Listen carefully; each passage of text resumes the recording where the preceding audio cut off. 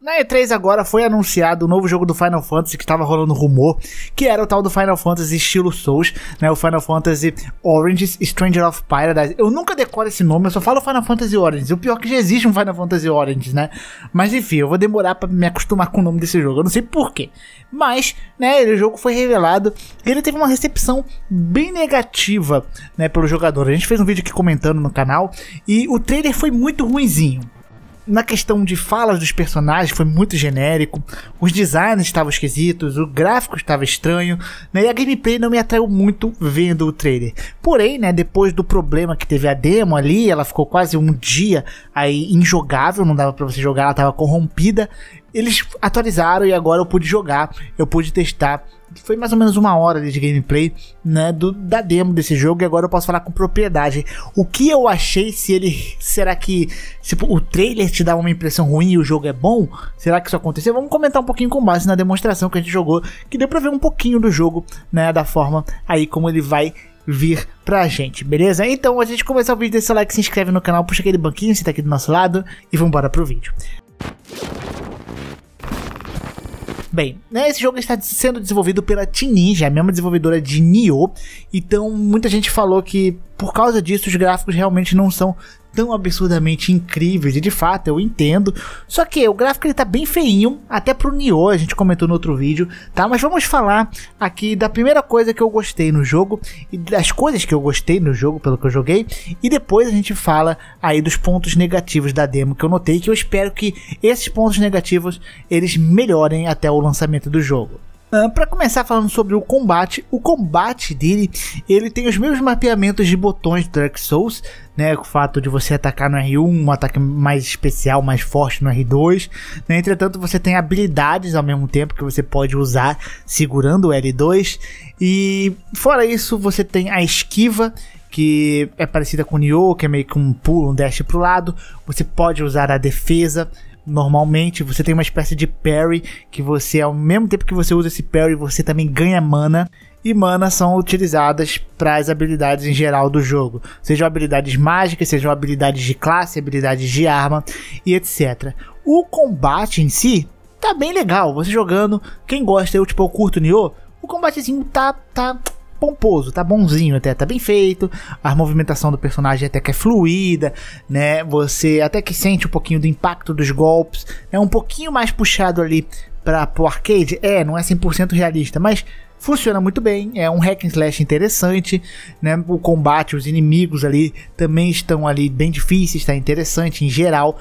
E o jogo, sobre o jogo ser Souls-like, eu posso, a gente pode considerar mais ou menos ele sendo um jogo ali com elementos de Dark Souls, né? Mais ou menos. Porque assim, o jogo não tem barra de estamina, né? Você só tem uma barra de postura mais ou menos, que é quando você fica defendendo muito e essa barra acaba, você tipo fica caído por alguns segundos no chão, ficando vulnerável, tá? Mas ele não te dá barra de estamina, você pode esquivar, atacar infinitas vezes se você quiser. Só que o que, o que ele tem de elemento Souls, assim, mais ou menos, é um pouco na dificuldade. Por mais que ele tenha o seletor do fácil, médio e difícil, eu joguei no médio, normal, né? E é difícil pra caramba, velho. Eu passei mal, sério.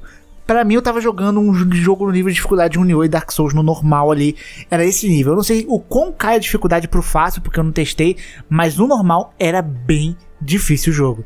E ele tem um elemento que é tipo os cristais que você encontra ali no meio do mapa, tá? E esses cristais você enche sua vida, enche as suas poções e os inimigos que você derrotou eles voltam. Então, esse é o mais maior elementozinho ali que eu achei Souls aqui, né? O mapa é bem interligadinho também, esse mapa que a gente jogou na demo, você acha uma escadinha, por exemplo, que desbloqueia um atalho e você volta para esses cristais, você pode recuperar suas poções, etc. Então esse é o único elemento mais Souls que eu achei, né? O combate um pouco cadenciado talvez, mas em geral esse é mais hack and slash do que Dark Souls, mas ele tem um pouquinho desse elemento. Outra coisa que eu gostei aqui foram as armaduras e as armas, principalmente as armaduras pelo fato de que essas armaduras ela mudam a aparência do personagem, o que ficou bem legal, e tem uma leve puxada pro Nioh, que é a questão de você ter bastante drops. Aqui, pelo menos nessa demo, não teve tanto drop igual você tem em Nioh, e você não tem aquelas coresinhas de mais raro, de menos raro, né? Mas você tem leves, então às vezes você dropa uma arma que é o mesmo modelo daquela arma, só que ela é level 10, level 11, é um level acima e ela tem substatus diferentes.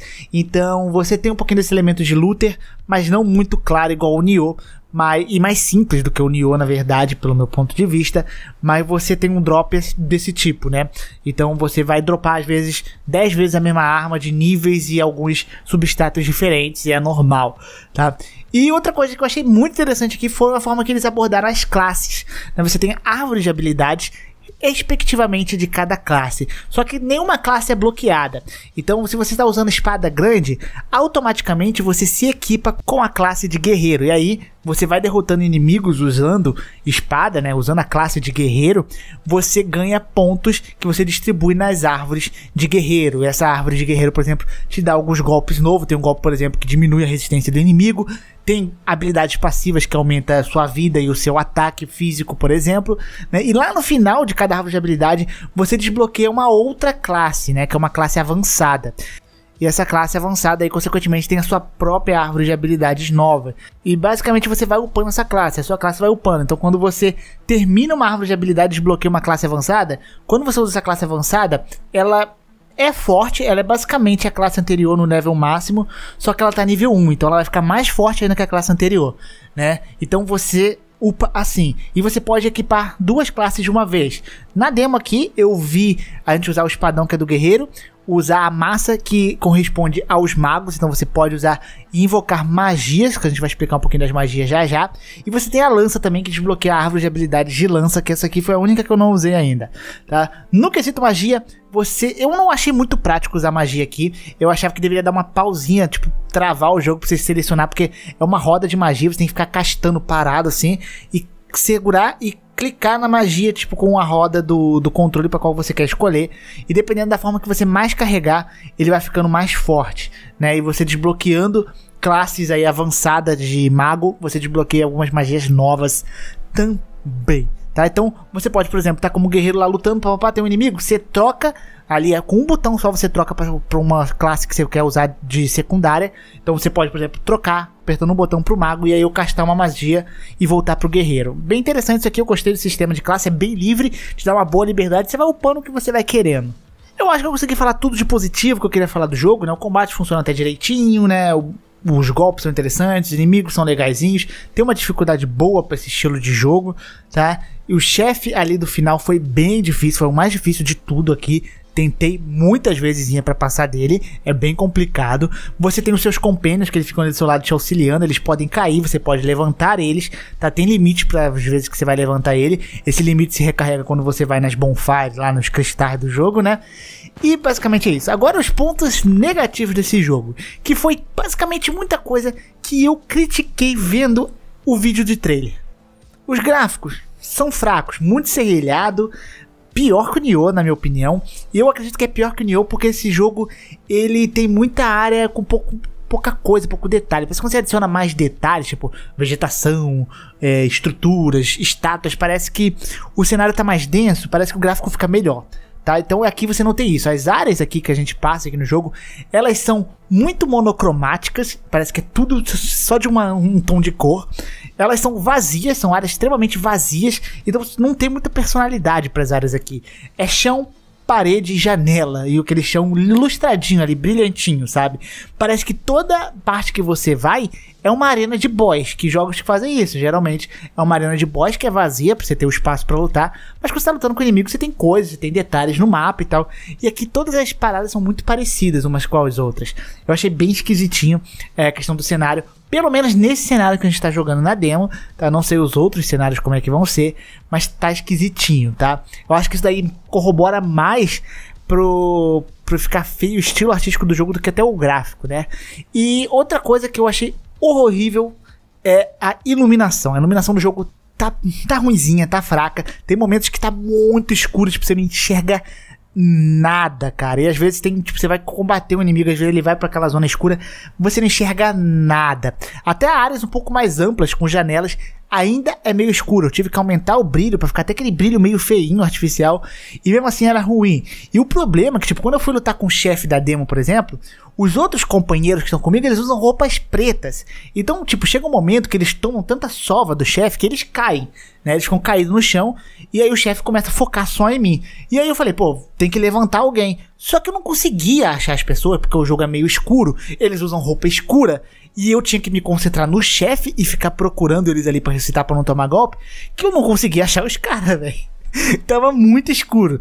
Então, tipo assim, a iluminação ficou horrível. Eu não gostei da iluminação. É algo que eles poderiam melhorar um pouquinho, né? Dark Souls, por exemplo, faz isso, tipo, adicionando uma aura ao redor do personagem que dá uma iluminadinha ao redor. Eu acho que isso ficaria melhor do que deixar uns ambientes totalmente escurão, assim, porque não é nem a proposta do jogo assim. Né? Se fosse um jogo de terror, tudo bem, né? Até teria. Mas não é um jogo para ter essa atmosfera assim bizarra de escuridão. E tem uns momentos que é muito escuro e que te atrapalha. É, e a outra coisa aqui, que é, aqui é, é estilo Souls mesmo o negócio. Porque a câmera desse jogo, meu Deus, eu contei umas 5 vezes que eu morri pro chefão final da demo só por causa de que eu fui inventar de lutar com ele perto de uma parede. Porque a câmera buga de uma forma, já morri pro inimigo, assim, pro chefão. Mano, foram vários momentos que a câmera simplesmente é horrenda horrenda. Mano, não inventa. Se você for lutar com algum inimigo, fica ali no meio, espera ele vir até você. Né? Porque se você for até ele numa parede, alguma coisa do tipo, vai atrapalhar. Você vai falecer, vai te incomodar, vai te irritar e você vai xingar o jogo. Tá? Então, basicamente, esses são os três pontos negativos, né? Pra mim, a iluminação do jogo, uh, a câmera do jogo e também um pouquinho ali da questão dos cenários e barra gráficos, né? Isso daí poderia ser melhorado, tá? Eles poderiam melhorar, principalmente a questão de iluminação, dá para deixar o jogo mais bonitinho.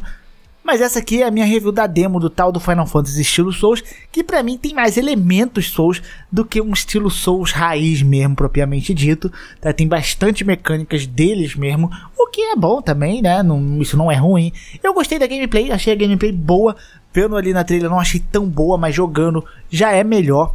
É boazinha, ainda mais eu que gosto de Nioh, eu me senti um pouquinho em casa ali, algumas coisinhas. Então é interessante, né? Mas vamos ver o produto final quando sair. A gente vai fazer a nossa reviewzinha aqui no canal, né? Vamos esperando aí. E basicamente é isso. Espero que vocês tenham gostado. Grande beijo, grande abraço, um beijo no Popovs. É nóis. E fui!